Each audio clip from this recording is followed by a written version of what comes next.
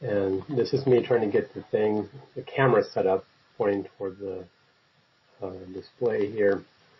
And today we're basically moving videos with frames pretty quickly.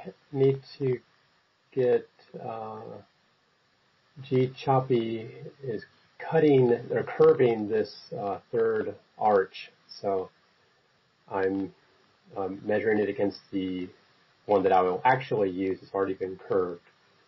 And then rotating the stage. And then uh, Mr. McGlue back there has finished gluing the uh, what's called lower zigzag net retainer or something.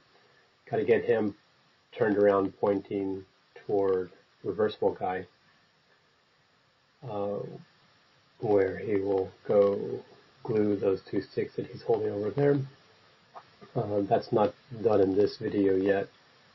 Um, then just getting the stage rotated and at some point soon, oh yeah, so I was thinking there's a better video position but I couldn't find one and so I canceled this video right there.